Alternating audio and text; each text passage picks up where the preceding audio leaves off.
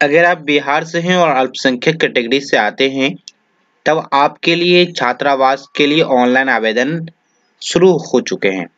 यानी कि बिहार के हर ज़िले में छात्रावास है। छात्रावास सिर्फ़ अल्पसंख्यक के लिए है। अल्पसंख्यक कैटेगरी में जो भी धर्म के लोग आते हैं वह सभी अप्लाई कर सकते छात्रावास क्या है, मैं पहले ये बता दूँ।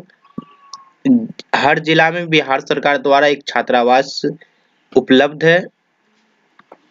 बिहार के हर जिला में छात्रावास है। छात्रावास यानी कि जो ग्रामीण इलाके, दूर इलाके में है, वो अपने जिला तक नहीं पहुँच सकते हैं पढ़ने के लिए और रूम लेकर भी पढ़ाई नहीं कर सकते। ऐसे स्टूडेंट के लिए जिला में हर जिला में एक छात्रावास है जो बिहार सरकार के द्वारा चलता है, जो बिल्कुल फ्री में छात्रावास में आपको रहने की व्यवस्था दी जाएगी। साथ साथ आपको अनुदान भी कुछ एक हज़ार रुपये हर महीना भी बिहार सरकार के द्वारा दिया जाएगा। अगर आप छात्रावास लेना चाहते हैं तो आज की इस वीडियो को कंप्लीट देखिएगा। इसमें हम आपको ऑनलाइन फॉर्म फिलअप करने के बारे में और इसकी क्या रूल्स है, पूरी चीज़ हम आपको बताएँगे छात्रावास के लिए। तो चलिए शुरू करते और जानते छात्रावास लेने के लिए सबसे पहले आपको गूगल पे आना हो गूगल पे आपको सर्च बॉक्स में लिखना होगा जीसान मॉनिटर जैसे आप गूगल पे सर्च बॉक्स में लिखेंगे जीसान मॉनिटर तो आपके सामने पहली वेबसाइट आ जाएगी जीसान मॉनिटर डॉट इन सिंपली से इस वेबसाइट को क्लिक करके इसे ओपन कर लेना है। जैसे ओपन करेंगे वेबसाइट कुछ इस सेक्शन पे आपको दिखने को मिलेंगे, नीचे आएँगे। तो नीचे आने के बाद आपको यहाँ पे सिंपली से मिल जाएगा। मैं आपको दिखा देता हूँ, नीचे आएँगे, यहाँ पे पोस्ट में आप देखेंगे। अल्पसंख्यक छात्रावास में एडमिशन शुरू, यहाँ पे आप देख सकते हैं। ये वाले ऑप्शन पोस्ट है, ये वाले पोस्ट पे आपको सिंपली से क्लिक कर देना है। जैसे आप इस पर क्लिक करेंगे, से यहाँ पे इसके बारे में पूरी चीज़ डिटेल में हिंदी में आपको दी गई है। किनके लिए है क्या क्या करना होगा, यहाँ पे देख सकते आवेदन प्रत्येक माह के एक से दस तारीख तक ऑनलाइन माध्यम से कर सकते तो उसके बाद यहाँ पे बताया आवेदन विभिन्न जिला में स्थापित छात्रावास में नामांकन अल्पसंख्यक वर्ग के अभ्यर्थी आवेदन कर सकते हैं। कौन सी क्लास की पढ़ाई के लिए यहाँ पे अभी जो आवेदन मांगेंगे, बाईस, चौबीस के लिए मांगेंगे। जैसा कि मैंने आपको बताया कि हर महीने एक से दस तारीख तक आवेदन होता है तो इसका जो अप्लीकेशन का शेड्यूल है, वो आप देख सकते हैं, एक तारीख से दस तारीख तक ऑनलाइन आवेदन कर सकते हैं, ग्यारह बारह तक आप अपना फॉर्म को एडिटिंग कर सकते पंद्रह तारीख को आपको लास्ट डेट है डॉक्यूमेंट की हार्ड कॉपी अपने जिला के कार्यालय में जमा करना। उसके बाद नीचे आएँगे, यहाँ पे देख सकते हैं, सोलह से इक्कीस आपका अप्रूवल होगा, जिसका भी अप्रूवल होता है। सभी फॉर्म फिलअप करते सभी का अप्रूवल नहीं होता है, कुछ का अप्रूवल होता है, कुछ का नहीं होता है। और यहाँ पे प्रत्येक महीना बाद आपको कब क्या होगा है यहाँ पे बाईस से अट्ठाईस तक एडमिशन हॉस्टल में क्या जाएगा, उनतीस को लिस्ट आएगा।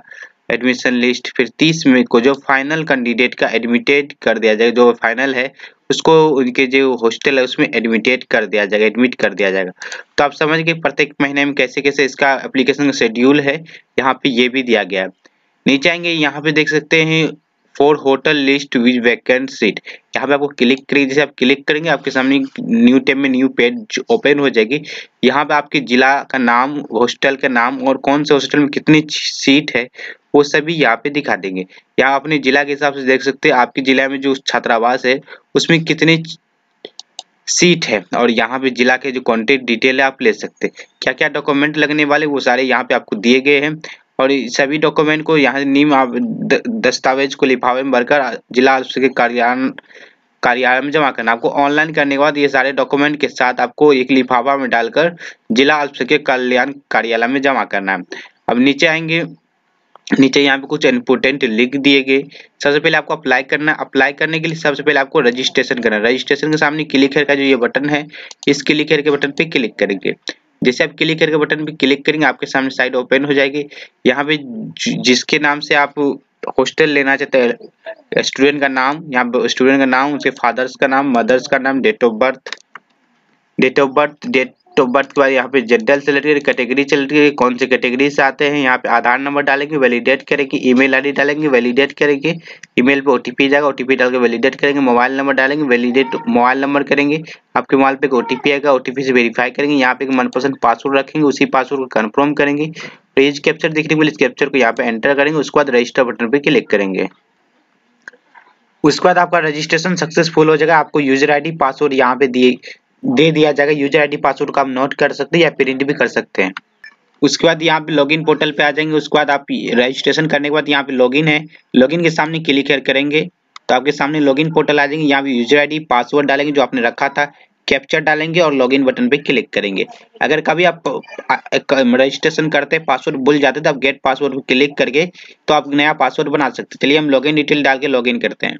लॉगिन होने के बाद कुछ इस तरह का सेंटर आपको दिखने को मिलेगा पोर्टल यहाँ आपको इतने स्टेप को फॉलो करने होंगे। रजिस्ट्रेशन हमने कर चुके हैं, ठीक है? अब यहाँ पे personal detail academy detail other detail और फाइनलाइज करके अपने फॉर्म को हम सबमिट करेंगे। ये सभी डिटेल हम यहाँ पे अभी करेंगे। सबसे पहले यहाँ पे देख सकते हैं रजिस्ट्रेशन जो बेसिक इन्फॉर्मेशन वो टिक लग चुका है, यानी कि ये हो चुका है। अब मुझे पर्सनल डिटेल करना है, जिसके लिए पर्सनल डिटेल पे क्लिक करेंगे। अब यहाँ पे पर्सनल डिटेल मुझे फिलअप करना है। कुछ डिटेल रजिस्ट्रेशन के समय जो दिया था, वही है। यहाँ पे फादर एक्यूपेशन फादर क्या करते हैं? फार्मर है, जो भी करते हैं, वो आप यहाँ पे डाल सकते हैं। फादर का mobile number mother family income क्या है? उसके बाद फैमिली इनकम जो भी वो आप डालेंगे। यहाँ पे अप्लीकेंट के स्टूडेंट का फ़ोटो डालेंगे स्टूडेंट के फादर्स का फ़ोटो डालेंगे स्टूडेंट का आधार कार्ड डालेंगे। उसके बाद यहाँ यहाँ पर अपना पूरा एड्रेस डालेंगे, अपना डिस्ट्रिक्ट यहाँ पे सिलेक्ट करेंगे। डिस्ट्रिक्ट सेलेक्ट करेंगे, यहाँ ब्लॉक सेलेक्ट करेंगे एरिया का पिन कोड डालेंगे। जहाँ भी आप रह रहे हैं और आपका जो परमानेंट एड्रेस दोनों सेम है तो आपको ऊपर वाला एड्रेस फिलअप करके टिक लगा देना है दोनों सेम हो जाएगा। यहाँ पर आइडेंटिफिकेशन मार्क बदन पे कटा फटा टीला वगैरह का निशान तो आप डाल सकते हैं। यहाँ पे कौन सा ब्लड का ब्लड ग्रुप है वो डाल सकते हैं, अनिवार्य है। मार्टर स्टेटर मारेड है अनमारेड है, जो भी आप वहाँ पे अनमारेड है तो सिंगल सेलेक्ट करेंगे मैरिड है तो मैरिड सेलेक्ट करेंगे। उसके बाद ये सारी डिटेल देने के बाद आपको सेव एंड कंटिन्यू पे क्लिक करना है। उसके बाद पर्सनल डिटेल हो चुका है एकेडमी डिटेल पे आ चुकी एकेडमी यानी क्वालिफिकेशन डिटेल देना है। टेंथ जो है टेंथ आपने कब पास किया वो आपको यहाँ पे सेलेक्ट करना है। टेंथ कौन से बोर्ड से आपने किया वो लिखना है। टेंथ कौन से विद्यालय से किया टेंथ में कौन कौन सा सब्जेक्ट था, उसमें कितना ऑफ़ टेन परसेंट मार्क आया? यानी कि साठ परसेंट आया, अस्सी परसेंट जितना परसेंट मार्क आया, आप उतना लिखेंगे। उसी तरह ट्वेल्थ भी आपको यहाँ पे डालना ट्वेल्थ आपने कौन से साल किया, कौन से यूनिवर्सिटी मतलब बोर्ड से किया, कौन से विद्यालय से किया, कौन सा सब्जेक्ट था, और कितना परसेंटेज मार्क आया। उसके बाद अभी जो आप कौन कोर्स करने के लिए ये ले रहे हैं, यानी कि हॉस्टल ले रहे हैं। हॉस्टल में रहकर कौन सा कोर्स करेंगे? वो कोर्स आपको यहाँ पे डालना होगा। उसके बाद यहाँ पे, नहीं, यहाँ पे कह रहा है कि ट्वेल्थ के बाद और कोई सा कोर्स किए तो आप वो डाल सकते नहीं तो आप इसे खाली छोड़ सकते हैं। उसके बाद यहाँ पे कह रहा है कि मैट्रिक का सर्टिफिकेट अपलोड करनी पीडीएफ में इंटर का सर्टिफिकेट अपलोड करने पीडीएफ में और कोई डिग्री आपने प्राप्त किया तो वो आप यहाँ पे अपलोड करेंगे। और यहाँ पे और कोई डिग्री ये डिटेल देंगे पोस्टिंग वगैरह का। उसके बाद यहाँ पे एक लेटर आपको अपलोड करना होगा। एक यहाँ पे लेटर अपलोड करना है। लेटर को आप, आप ये हमारी इस वेबसाइट पे मिल जाएगी। और यहाँ पे आपको लेटर के बाद proof of admission of the to school college यानी कि जिस स्कूल कॉलेज में आप पढ़ रहे हैं, उसको स्कूल कॉलेज का कोई प्रूफ हो आईडी कार्ड रसीद वगैरह, वो आप डाल सकते हैं। यहाँ पे फ्यूचर आपका कोर्स क्या, आप कौन सा कोर्स करना चाहते हैं, वो आप डालेंगे। और यहाँ पे टारगेट क्या है ईयर का पासिंग ईयर का टारगेट मतलब जो कोर्स करने के लिए आप यहाँ पे ले रहे हैं, ठीक है? जैसे कि रेलवे की तैयारी करने के लिए आप ले रहे हैं मतलब छात्रावास। आपका टारगेट कौन से साल का है, वो आप यहाँ पे सेलेक्ट करेंगे। कौन से कोचिंग से आप ले रहे हैं, कौन से कोचिंग में पढ़ाई कर रहे हैं, वो आप यहाँ पे डालेंगे। उसके बाद क्लिक टू ऐड करेंगे, उसके बाद सेवन कंटिन्यू करेंगे। उसके बाद अदर डिटेल पे आ जाएँगे, यहाँ पे अपने हिसाब से डाल सकते हैं। यहाँ पे एन लिखेंगे एन लिखेंगे नॉट अवेलेबल इसमें भी एन लिख सकते हैं। उसके बाद यहाँ पे लोकल गार्जियन की डिटेल देख सकते हैं। नाम एड्रेस कॉन्टेक्ट नंबर मदर है फादर इसमें आप डाल सकते हैं मदर फादर की डिटेल यानी गार्जियन कौन है। उसके बाद यहाँ पे कह रहा है कि क्या आप हॉस्टल किस विज़िट करना चाहते हैं? तो किन किन लोगों के साथ विज़िट करना चाहते हैं, वो उसकी डिटेल आप डालेंगे। यहाँ पे स्टूडेंट की बैंक डिटेल डालेंगे। उसके बाद यहाँ पे आपको फिर से यहाँ पे अपना नाम डालना है।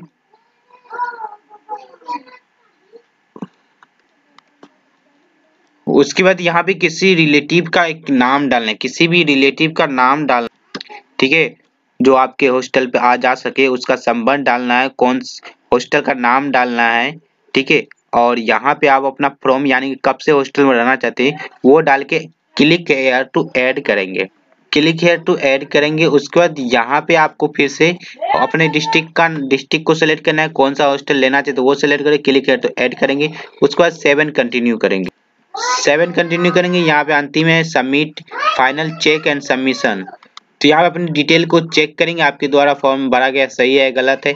चेक करने के बाद आपको यहाँ पे टिक लगाना टिक लगाने के बाद फाइनल चेक एंड सबमिशन पे क्लिक कर देना है।